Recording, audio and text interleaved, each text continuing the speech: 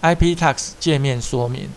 那因为 IP tax 它是一个即时通讯软体，所以启动它之后呢，我们最主要看到的就是这个区块，它会列出所有现在啊线上好友的这个状态。好，那这边呢是它的这个数量，那最主要我们还会操作到的部分呢，是在功能表的部分。好，它会有一些相关的设定啊，例如在工具里头就有很多我们之后会提到的部分。